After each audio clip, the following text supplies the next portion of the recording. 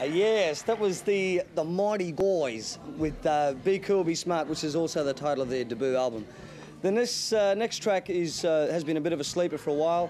Uh, now apparently it's big in the discos. Since I don't go to discos, I wouldn't know. This is Fun Boy 3 with "It Ain't What You Do, It's the Way You Do It."